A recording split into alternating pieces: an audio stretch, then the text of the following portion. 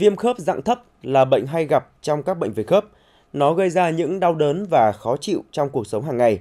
Trong một cẩm nang y học ngày hôm nay, mời quý vị và các bạn cùng theo dõi bác sĩ Đào Thị Khánh, khoa y học cổ truyền, Bệnh viện Đa khoa tỉnh, giải thích rõ hơn về căn bệnh này theo đông y và những bài thuốc giúp giảm đau hiệu quả khi bị viêm khớp dạng thấp bằng các cây lá dễ kiếm quanh nhà.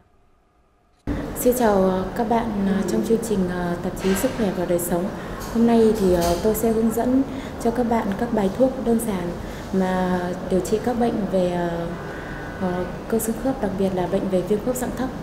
Bệnh viêm khớp dạng thấp thì là một bệnh rất hay gặp ở mọi lứa tuổi, nhưng hay gặp nhất thì là ở lứa tuổi trung niên. Bệnh thường xảy ra ở phụ nữ chiếm tỷ lệ từ 70 đến 80%.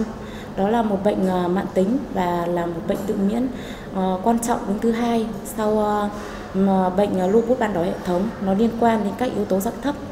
Theo y học cổ truyền thì à, bệnh viêm khớp dạng thấp nằm à, trong phạm vi của chứng tí. Nguyên nhân gây ra bệnh viêm khớp dạng thấp là do các ngoại cảm như là phong, hàn, thấp, nhiệt gây xâm phạm vào kinh lạc và gây ứ tắc kinh lạc gây ra các chứng đau trong bệnh viêm khớp dạng thấp.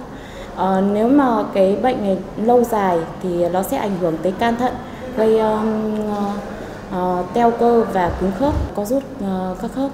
Uh, trong dân gian thì uh, có thể uh, sử dụng các bài thuốc rất là đơn giản để điều trị bệnh viêm khớp dạng thấp. Ví dụ mình có thể sử dụng uh, lá lốt. Lá lốt thì mình có thể hái lá lốt sau đó là phơi âm can, có nghĩa là phơi trong bóng dâm. Đến khi mà lá nốt héo thì là mình có thể lấy từ 30 đến 40 gram lá lốt sắc uống chia làm hai bữa sáng và tối. Ngoài ra mình có thể sử dụng lá của cây cỏ xước Cây cỏ xước này thì mình ờ, sử dụng lá tươi, sau đó là cắt nhỏ, phơi khô, sao vàng rồi hạ thổ. Ngày thì ờ, sử dụng từ ờ, 50 đến 70 gram sắc nước uống chia hai bữa sáng tối. Ngoài ra mình có thể sử dụng lá và cành của cây đinh năng. Cái cây đinh năng này thì mình sử dụng cành tươi và có thể là um, mình sắc lấy nước uống chia từ chia hai bữa trong ngày. Lượng sử dụng một ngày là từ 30 đến 40 gram tươi. Ngoài ra mình có thể sử dụng lá ngải cứu. Cái lá ngải cứu này thì ờ, rất là phổ biến trong mọi gia đình. Thì ờ, cái lá ngải cứu mình ờ, dùng lá tươi cho một ít muối đổ nước sôi lên. Trong sau đó mình vớt ra và đắp vào các khớp. Nếu mà các khớp mà nó sưng và đau, nó có tác dụng rất là tốt trong trường hợp mà các khớp đang đau, sưng đau nếu mà các khớp mà đau mỏi lâu ngày, nó cũng có tác dụng là phòng và chữa các bệnh phòng chữa các bệnh về cơ xương khớp cũng như là hạn chế các trường hợp tái phát cấp tính của các bệnh về cơ xương khớp. Về à, phòng và à, phòng bệnh à, về viêm khớp dạng thấp thì nó sẽ kết hợp giữa yếu tố luyện tập cũng như là chế độ ăn uống. Về yếu tố luyện tập thì nên hạn chế những cái vận động mạnh cũng như là thường xuyên xoa bóp các khớp, đặc biệt là các khớp bàn ngón tay, khớp cổ tay, khớp khỉu cũng như là khớp bàn ngón chân, khớp cổ chân, khớp gối ờ, hạn chế những cái ờ, ờ, vận động nặng cũng như là cái các tư thế mà nó không phù hợp với khớp. Ví dụ như là ngồi xổm hoặc là đứng hoặc là ngồi lâu tại một vị trí nào đó thì nó cũng sẽ gây ảnh hưởng đến sự hoạt động của khớp.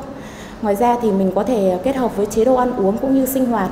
Chế độ sinh hoạt thì là mình nên uh, hạn chế tiếp xúc với uh, Ờ, nước lạnh vào các khớp và thường xuyên giữ ấm các khớp thì cũng như là hạn chế đi ra ngoài nếu như mà trời đang mưa gió để hạn chế nước lạnh vào các khớp thì nó cũng sẽ hạn chế các tình trạng ờ, đợt cấp của các bệnh viêm khớp dạng thấp.